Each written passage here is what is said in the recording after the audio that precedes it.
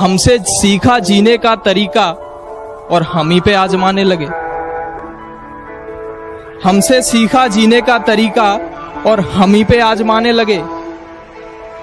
कभी जो करते थे हमारी तारीफें, कभी जो करते थे हमारी तारीफें, वक्त बदला तो वो भी औकात दिखाने लगे।